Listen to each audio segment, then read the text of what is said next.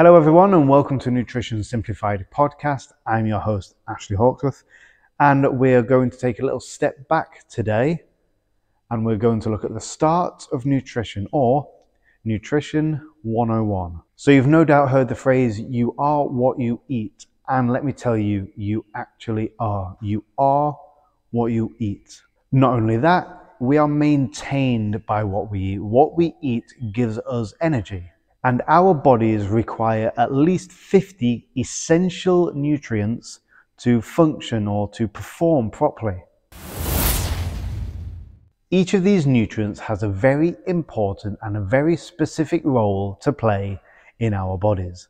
Now, some nutrients can actually be made within the body if given other chemical building blocks that are required to make them. For example, we don't really need to consume non-essential amino acids because as the name suggests, they're non-essential and our bodies can produce and make them ourselves. But our bodies can only do that if we consume enough essential amino acids. You see, the essential amino acids are, as the name suggests, essential because our bodies can't produce them ourselves. So we need them from the diet. And they also help create and build the non essential amino acids, just in case we haven't had enough of them either. There are six main nutrient groups that are essential for survival, and each diet should contain a balance of each of them.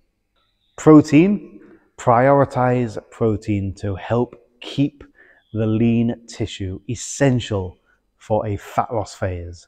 Fats, including cholesterol to help hormone production and more. Carbs, I'm going to include this. People say, oh, we don't need carbs for survival or we don't need it's not essential. I'm going to include it because we do need fiber to aid digestion. And then the last three, we've got vitamins, minerals, and water. Now we have various healthy eating guidelines, such as the Eat Well Guide, but do you know what's wrong with that? Do you know what the issue is there? I'm going to pause for a second for you to shout at the speaker. But do you know what's wrong or what the issue is for a general guideline for nutrition? The answer is everyone is different. Everyone is unique. Everyone is individual. The proportion or the ratio of protein, carbs, and fats is entirely unique to you what works for me doesn't necessarily work for you, and vice versa. I could do well on a high carb, you could do even better on a high fat, low carb.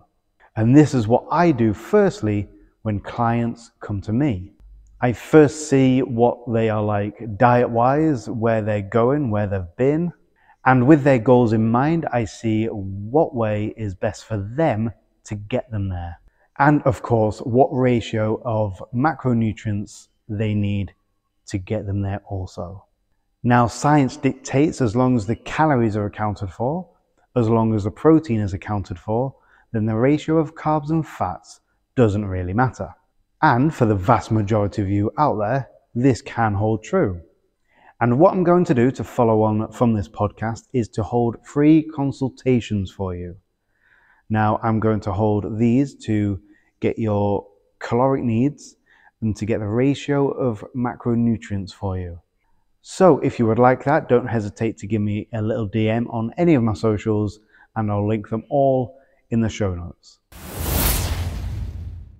So just a quick one, just a few minutes today and it was much needed, a little episode on Nutrition 101.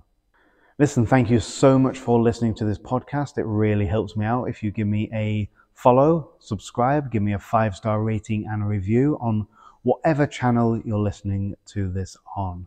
And until next time, see you soon and take care.